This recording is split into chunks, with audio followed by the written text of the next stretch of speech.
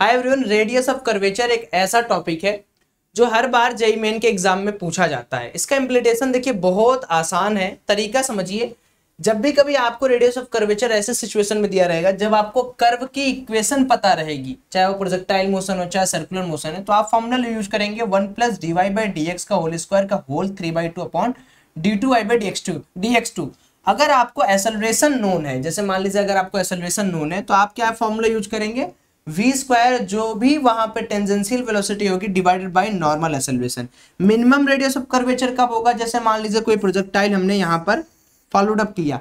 तो यहाँ point of projection से लेके जैसे जैसे आप आगे बढ़ेंगे, आपका रेडियस ऑफ़ कर्वेचर डिक्रीज होता रहेगा। जहाँ मैक्सिमम हाइट होती है, वहीं पर मिनिमम रेडियस ऑफ़ कर्वेचर होता है। उसका फॉर्मूला क्या है? V n square upon a ठीक है? बाकी आप लोग कैसा लग रहा है सीरीज़ बताइएगा और कोई टॉपिक आपको पसंद है कमेंट करिएगा।